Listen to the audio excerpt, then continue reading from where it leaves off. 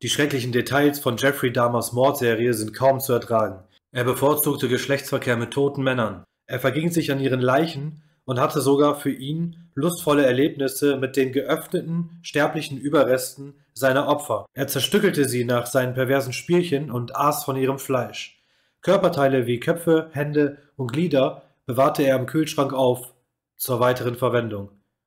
Um der Verwesung all der toten Menschen in seiner Wohnung Herr zu werden, besorgte er sich ein Säurefass, in dem er die Leichen auflöste. Die Reste spülte er dann in der Toilette runter. Er machte auch Menschenexperimente und versuchte willenlose Zombies zu züchten, an denen er seine perversen Spielchen treiben konnte, ohne dass sie verwesten. Er bohrte Löcher in ihre Köpfe und injizierte ihnen Säure ins Hirn. Nach seiner Verurteilung gab er bereitwillig Interviews, um seine kranken Neigungen zu erklären. Jetzt folgt ein Ausschnitt aus einem dieser Interviews. Ja, als äh, immer mehr Zeit verstrich, ja, es war ein Sexualanteil an dem Zerlegen, also an dieser Sache. Ich habe angefangen, einige Sachen davon aufzuheben, sowas wie Skelettteile und ich habe andere Teile aufgehoben im Kühlschrank und eine Sache führte zur nächsten und ich habe mehr und mehr, ich habe immer extremere Sachen machen müssen, um mich zu befriedigen. Und diese Spirale ist außer Kontrolle geraten. Der Kannibalismus hat dazu gefühlt, dass ich das Gefühl hatte, dass sie bei mir bleiben, permanent, ein Teil von mir werden. Und ja, diese Neugierde zu wissen, wie Menschenfleisch schmeckt. Und das hatte auch eine sexuelle Befriedigung, das zu tun für mich. Nein, das Töten, das ich musste das nur zum Ende bringen. Die Befriedigung habe ich nicht durch das Töten bekommen. Das ist, warum ich versucht habe, lebende Zombies zu züchten, als ich Säure mit diesem Bohrmaschine versucht habe. Aber das, das hat niemals funktioniert. Ich wollte diese Menschen unter meine komplette Kontrolle bringen, damit sie bei mir bleiben. Ich wollte sie bei mir behalten, so lange wie ich wollte. Und sie sind immer verwest und Jetzt gebe ich euch die ganzen schrecklichen Details von dem Fall des Serienmörders Jeffrey Dahmer. Er wurde genannt The Milwaukee Cannibal bzw. The Milwaukee Monster, weil er wirklich monströse Taten begangen hat. Er ist einer der weirdesten und verrittesten und krassesten Serienmörderfälle, die, die es gibt. Also die drei heftigsten Fälle, die ich kenne, und ich kenne viele. Ähm, er war dem gleichen Geschlecht zugetan er war nekrophil. Er stand auf Afroamerikaner.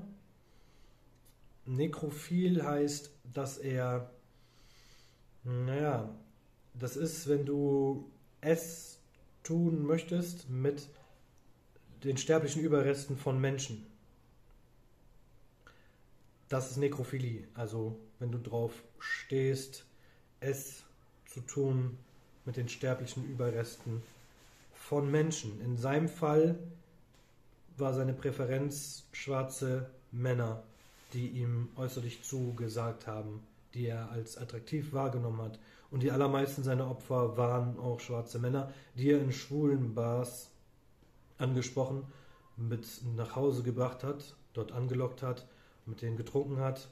Und ja, an den Getränken der Herren, die zu, bei ihm zu Besuch waren, waren K.O.-Tropfen und er hat den Prozess des Tötens als lästig oder als nötiges Übel beschrieben. Wie er auch in einem Interview sagt, er hat keinen Wut, keinen Zorn, keinen Hass oder sowas auf diese Menschen gehabt. Im Gegenteil, er wollte, dass sie bei ihm bleiben. Und ja, die würden halt alle früher oder später gehen und seine, sein, sein, seine Art, diese Leute bei sich zu behalten, war, sie zu töten mit Strangulation erwürgen. Dann, was danach kam, ist so bestialisch und so schrecklich, dass man es kaum in Worte fassen kann. Er hat diese erotische Fantasie äh, gehabt und sich davon angezogen gefühlt, mit bewusstlosen Männern zu interagieren. Die Steigerung oder das, die größte Lust hat er dann empfunden, wenn diese Männer nicht nur bewusstlos waren, was er zum Beispiel bei einem Jogger so erreicht hat, dass er ihm mit dem Baseballschläger draufgehauen hat und dann hat er sich daneben gelegt und whatever gemacht. Äh, aber die Steigerung, seine höchste Lustempfinden war, wenn das tatsächlich mit einem verstorbenen Mann passierte. Also er hat das Unaussprechliche gemacht, nachdem er diese Männer erwirkt hat. Und das ist noch nicht alles. Also da geht das für ihn quasi erst los. Also das war erstmal der erste Vorgeschmack, das erste, sein erster Leckerbissen, was er da hatte. Er hat diese Menschen dann noch eröffnet, wie man das in der Autopsie machen würde, und hat dann, so wie er es in seiner Kindheit und Jugend mit äh, Tieren gemacht hat, die Innereien ne, angefasst, angeguckt und das Unaussprechliche damit gemacht. Ähm, ja, das müsst ihr jetzt mal ein bisschen zwischen den Zeilen lesen, weil das ist echt zu gruesome. Ich mache das Video auch ab 18, weil das ist echt, äh, ich weiß nicht, wie ich das in Worte fassen soll, wie ich das hier sagen soll. Das ist natürlich einfach extrem krass, was er getan hat. Er hat das ja mit vielen Männern gemacht, 17 Opfer insgesamt. Und jetzt kommt's. Er hat diese Menschen, das dann mit den Menschen getan und sterbliche Überreste, die fangen natürlich an zu verwesen. Das heißt, es gibt einen bestialischen Gestank und natürlich, also ich weiß nicht, ob ihn das gestört hat, aber diese Starre und Flecken und sowas, was sich dann bildet und so, das ist ja auch, hat ja auch einen gewissen Ekelfaktor, aber wenn man bedenkt, was er so gemacht hat, wird ihn das wahrscheinlich wenig gestört haben. Und auch Menschen innerlich, ich habe das, weiß das von jemandem, der Operationen durchgeführt hat, man, man stinkt innerlich, weil klar, wenn die Verdauungsorgane und so, wenn das eröffnet wird, dann stinkt das ja auch schon. Also es stinkt auch schon bevor die Person verwest. Das ist unglaublich. Und er hat. Aber es zieht natürlich auch Insekten an und zieht dann auch durch die Türen durch, sodass die Nachbarn den Geruch wahrnehmen und sowas. Und das wollte er nicht. Das war natürlich zum Nachteil für seine Gelüste, die er dann mit den sterblichen Überresten ausgelebt hat. Also hat er dann versucht, diese Menschen irgendwie zu konservieren.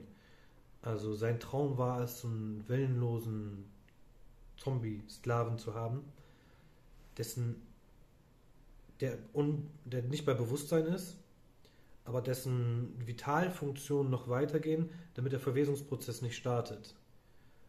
Also so ein permanenter Zustand der Bewusstlosigkeit, wo er dann sein, was auch immer da an, dem, an der Person machen kann.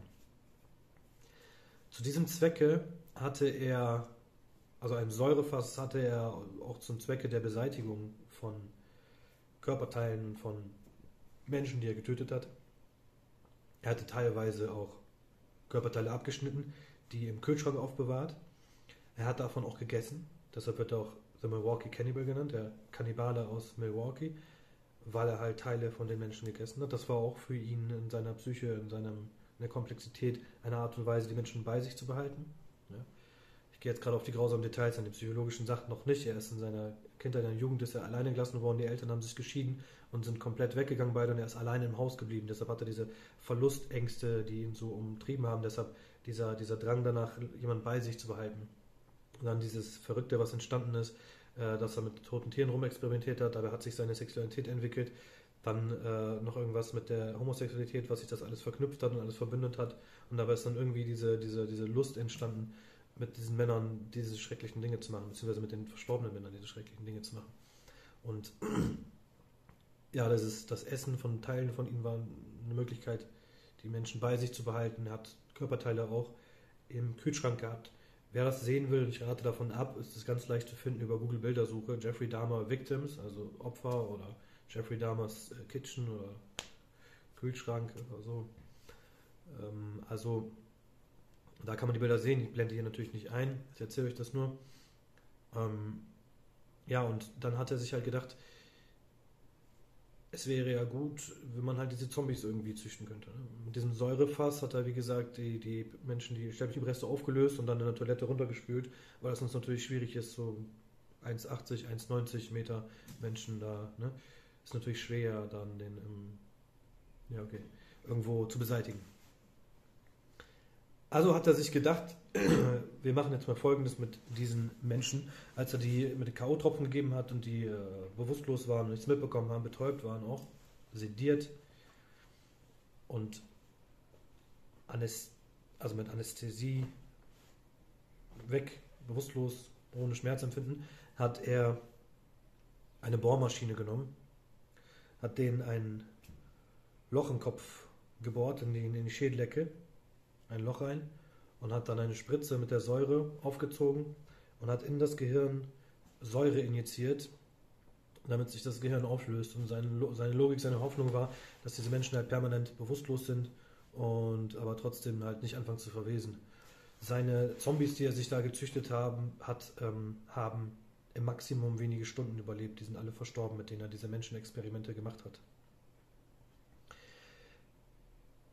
Es ist kaum zu beschreiben. Und wenn man diese Bilder dann auch sieht mit vollständig geöffneten Menschen, aus dem alles raus ist, das ist einfach nur nicht in Worte zu fassen. Er hat diese Männer auch, nachdem sie verstorben waren, in ganz merkwürdige Posen auf sein Bett gelegt, also in absoluten Verrenkungsstellung, komplett äh, verdreht, diese Körperteile und Gliedmaßen und sowas verdreht und hat damit Fotos gemacht, die dienten dann wahrscheinlich auch seiner äh, persönlichen Befriedigung danach, ähm, nachdem der Akt äh, vorbei ist und die Person dann im säurefassenden Klo weg ist, dass er danach noch was davon hat.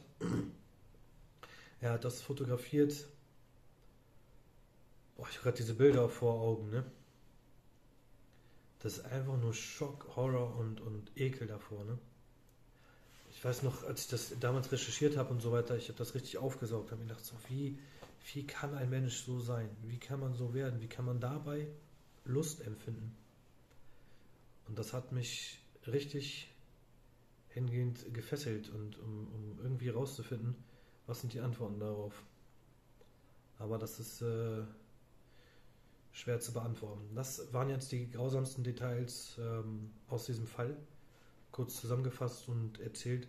Äh, ich denke, dass es so ganz gut ist, weil die Bilder kann ich nicht zeigen und auf diesem Wege, das Video mache ich ab 18. Äh, hatte ich euch ja gesagt, dass ich euch die Details im anderen Video mal erzähle und erkläre. Ich arbeite weiter noch an dem Fall, an dem hat ja Interviews gegeben und so weiter, an der Übersetzung. Und ja, bleibt dabei. Danke für eure Aufmerksamkeit. Passt auf euch auf und geratet nicht in die Finger von solchen Menschen. Bis demnächst. Haut rein.